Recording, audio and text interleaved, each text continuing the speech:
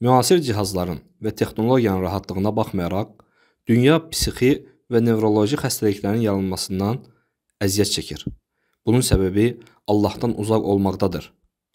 Uca Allah buyurur: Kim mənim zikrimdən üz döndərərsə, onun güzaranı sıxıntılı olacaq.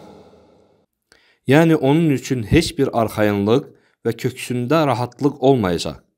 Əksinə, zahiri yaxşı görünsə belə, azğınlığına görə köksü sıxıntı çəkmiş və daralmış halda olacaq.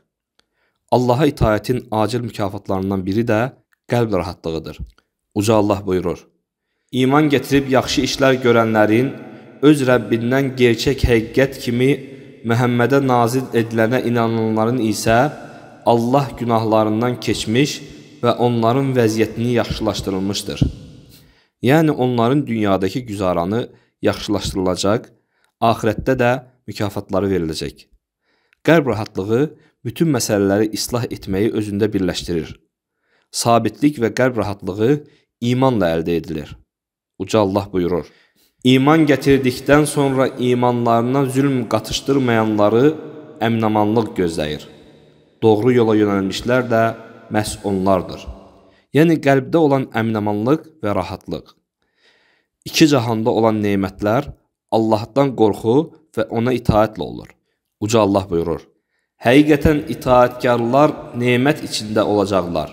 Şübhəsiz ki, günahkarlar da cəhənnəmdə olacaqlar. Bu onların dünyada və qəbirdəki haldır. Onun tamamı və mükəmməli isə axirətdəki halı olacaqdır. Qəlb rahatlığı Allahın qəza və qədərinə razı olanlar tərəfindən əldə edilir. Əl-Qəmədən Allah ondan razı olsun. Allahın kim Allaha iman edərsə, Allah onun qəlbini doğru yola yönəldər ayəsinin təfsiri barəsində soruşduqda o belə dedi: Bu, o insandır ki, müsibətə düçar olur və bunun Allahdan olduğunu bilir. Buna razı qalır və təslim olur.